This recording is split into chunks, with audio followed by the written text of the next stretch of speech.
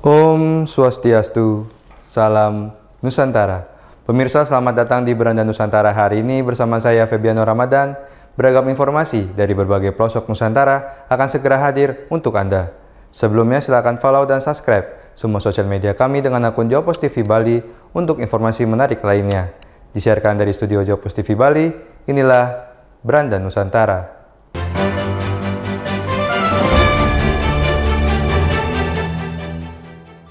Enggan memberikan komentar panjang, Presiden Joko Widodo menyebut PBNU menjadi pihak yang perlu memberikan pernyataan soal lima orang kadernya yang melakukan pertemuan dengan Presiden Israel Isaac Herzog.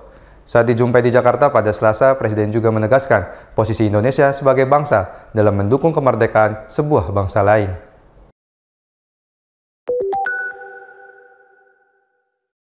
Presiden Joko Widodo enggan memberikan komentar terkait pertemuan lima tokoh muda Nadlatul Ulama dengan Presiden Israel Isaac Herzog yang sempat viral di platform media sosial saat dijumpai sebelum keberangkatan ke Abu Dhabi, Uni Emirat Arab di Jakarta, Selasa 16 Juli.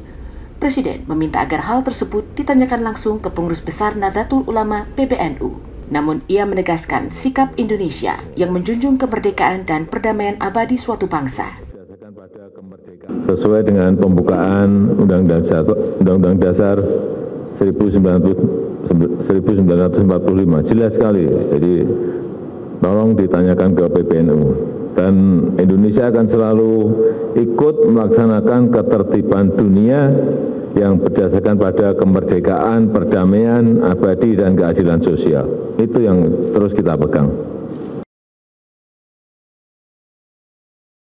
Pernyataan Presiden senada dengan tanggapan yang sebelumnya dikeluarkan oleh Kementerian Luar Negeri bahwa posisi Indonesia terkait situasi antara Israel dan Palestina telah jelas diutarakan sebelumnya.